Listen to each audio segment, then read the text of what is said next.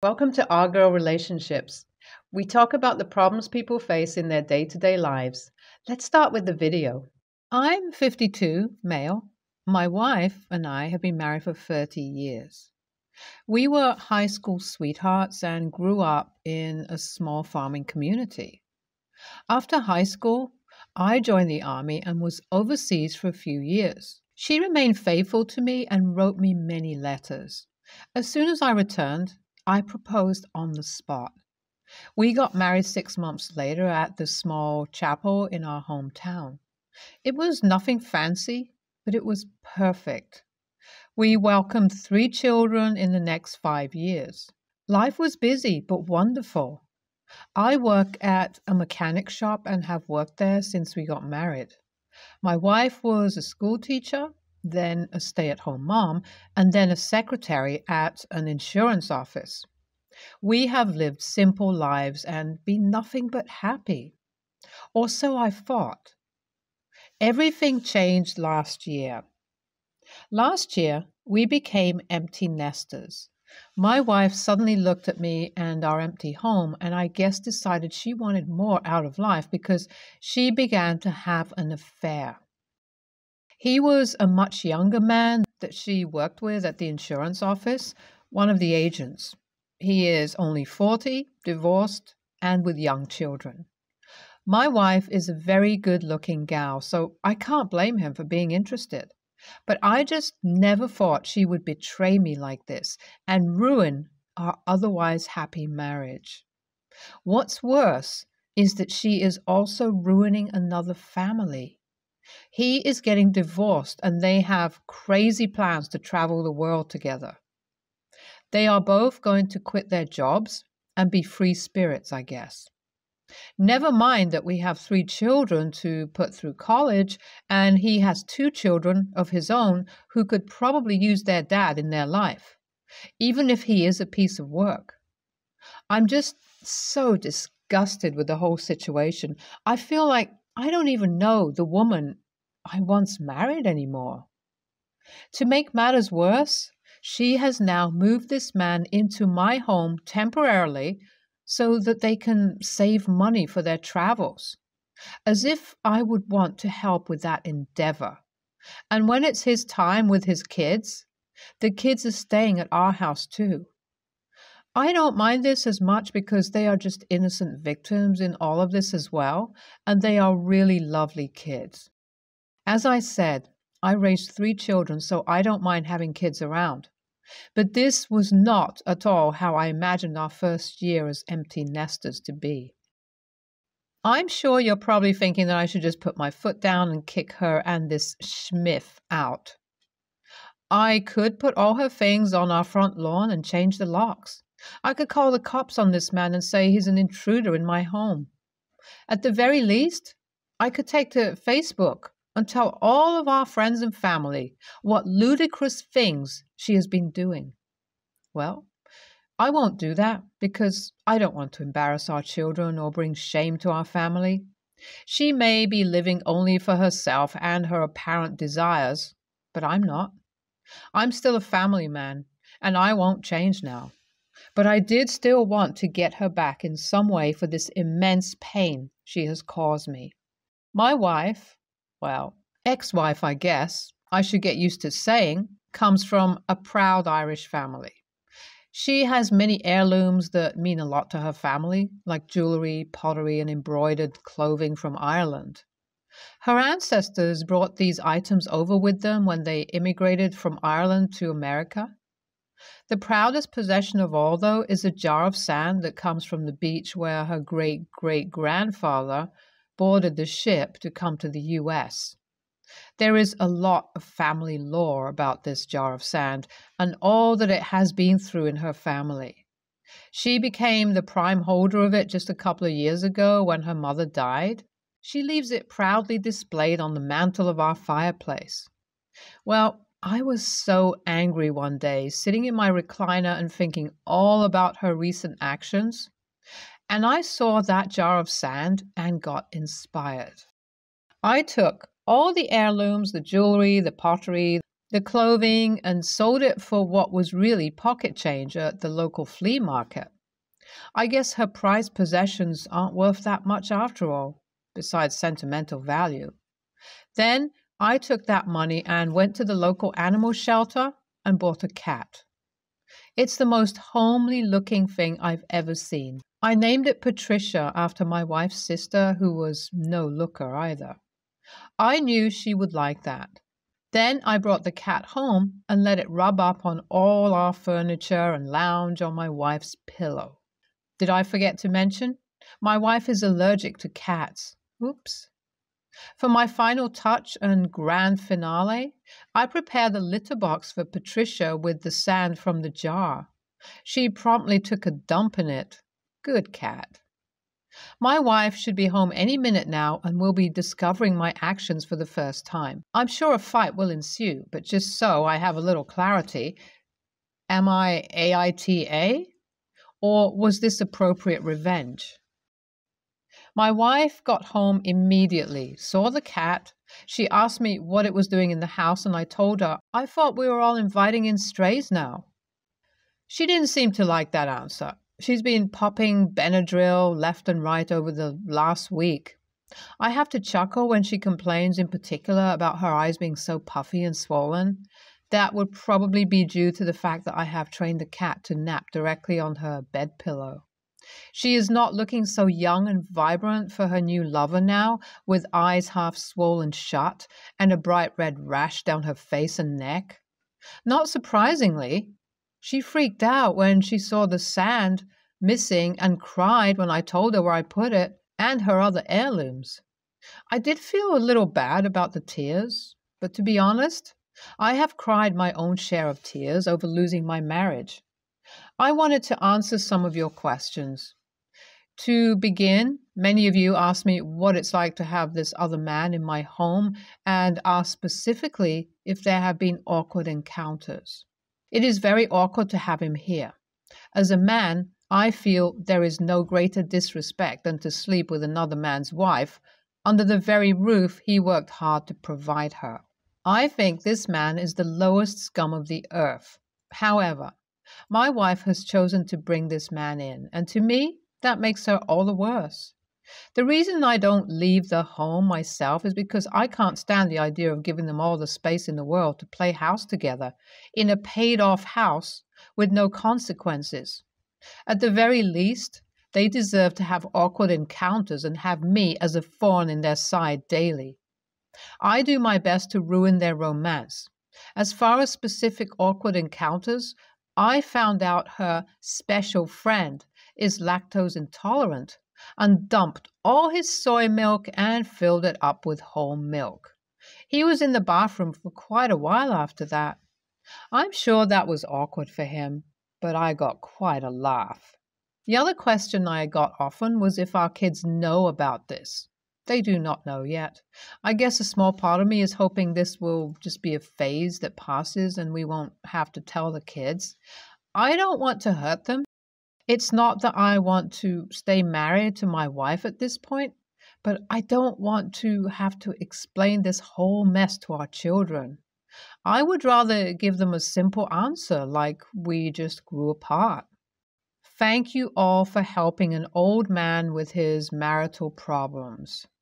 While I may have acted somewhat immaturely, it's only because I was heartbroken. It was comforting to me to share my story and have your support. I hope that the future has better things in store for me. This story was so heartbreaking to me. Your story reminds me of my own parents, and I can't imagine my dad going through what you're going through. I think your ex wife is probably having a midlife crisis. While that doesn't excuse it, hopefully it helps you realize that it wasn't anything you did wrong. Your NTA, and I think it's understandable why you lashed out. NTA, you're a good man, I can tell.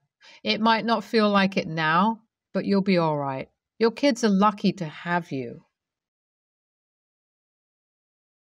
My late grandmother gifted her engagement ring to my late fiance so he could propose to me, as she wanted the ring to stay in the family and she'd always loved him.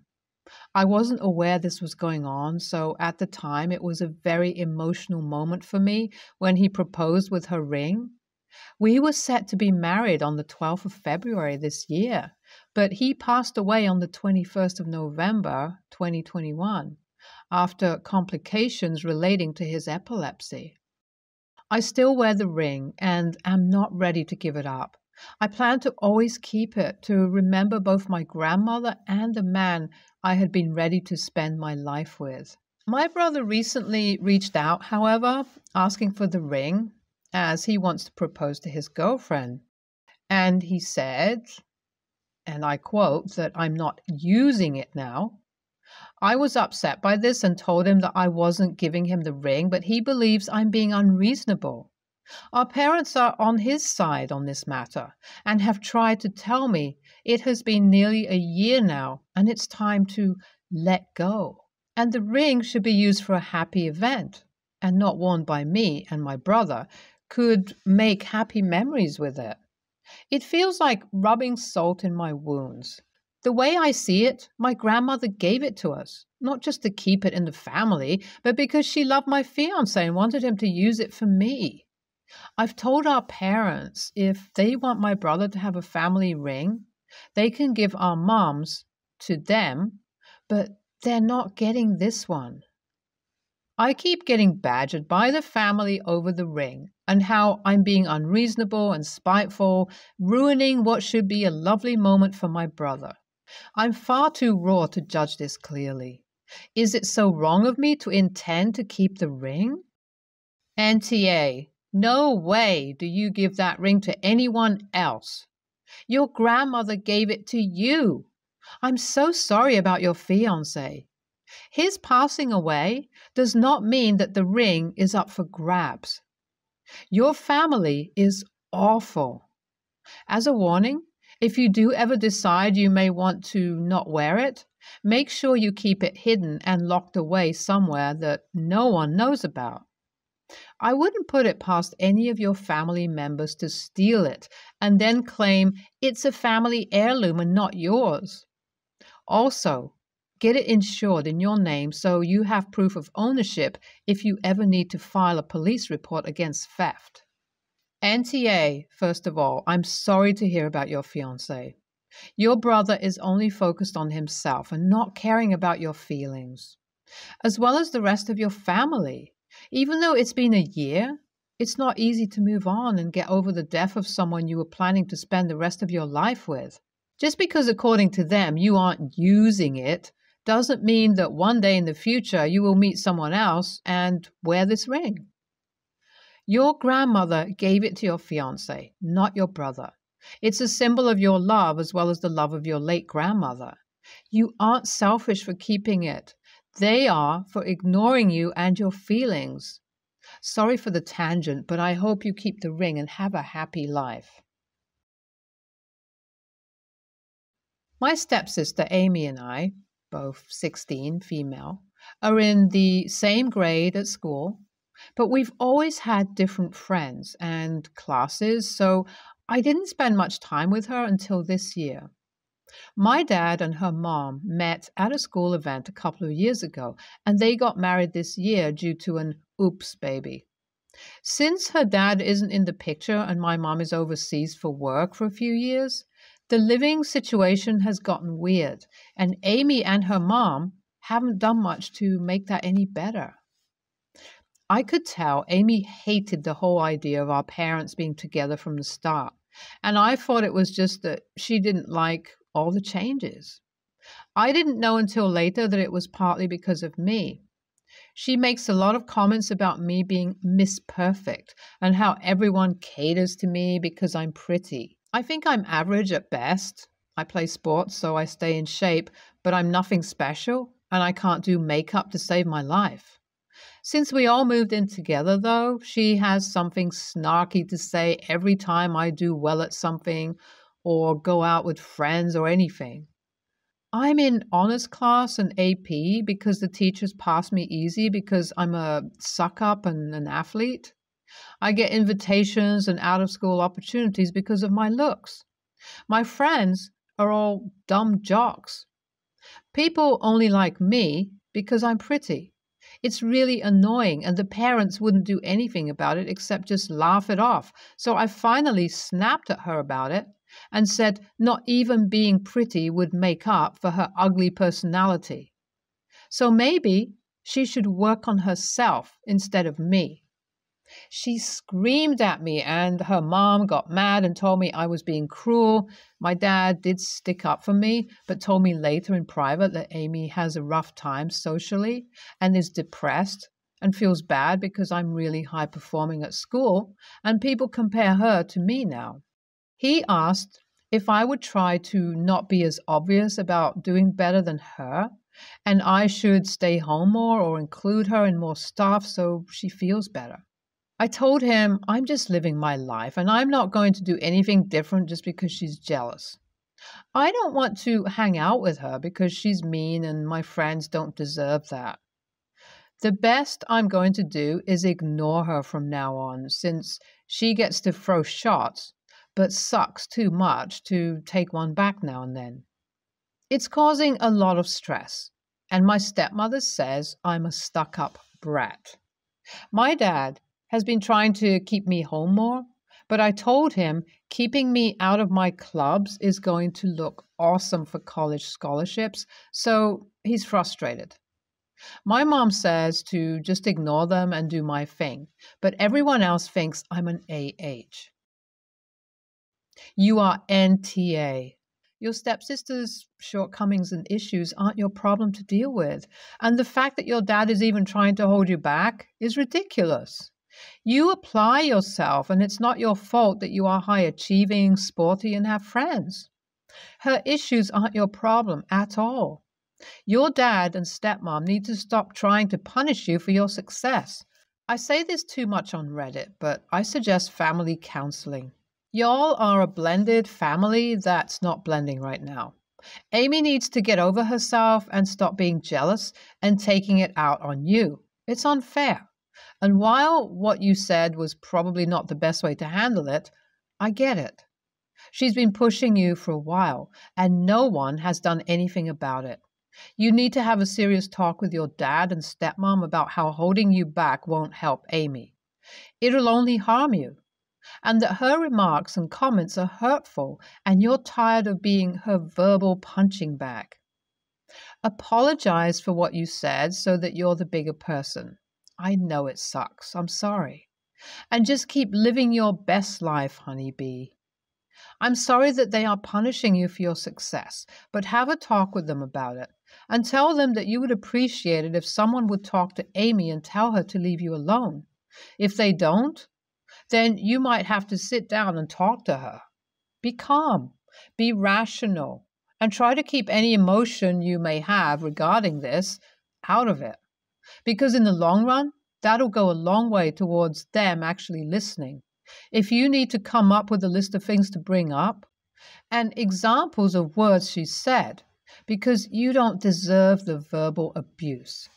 Good luck, OP. NTA, but your dad definitely is. Any parent that would encourage or try to make their child less than what they are to make their stepdaughter feel better is a poor excuse of a parent. It goes without saying that your stepsister and stepmother are in the wrong, but your dad is the one that is truly failing you right now. As a parent, he is supposed to be your protector and biggest advocate. He is supposed to encourage you to be the best that you can be, not try to stifle you because he married a woman with an insecure daughter. I know you said your mom is out of the country for work, but you really need to tell her what is going on. Maybe she has extended family you could stay with if your dad isn't willing to do his job as a parent. NTA, you are absolutely right. Making yourself less to make stepsis feel better about herself is just all kinds of wrong. She and her mother need therapy to stop calling you names and start learning some skills and perspectives that will actually help this girl before it is too late. I am sorry your dad saddled you with this mess. Luckily, you are off to college in a couple of years and won't be in close contact. Good luck to you, OP. Be your awesome self and don't let anyone try to diminish you.